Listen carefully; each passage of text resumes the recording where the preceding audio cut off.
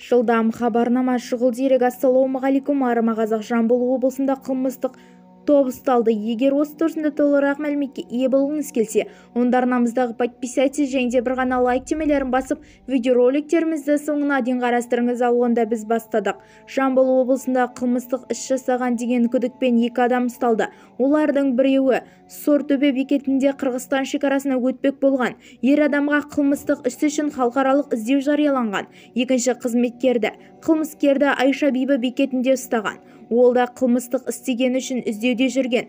Қылмыскердің екеуі де қазақстан азаматы. Бізді тамашалауды жалғастырыңыз және де ең соңғы жаңалықтарды алғашқылар қатарында біздің каналымызды тамашалаңыздар.